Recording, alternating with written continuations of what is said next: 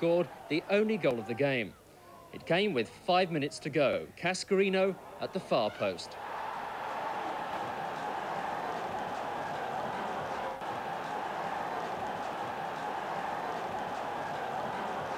And Gillingham are now sixth.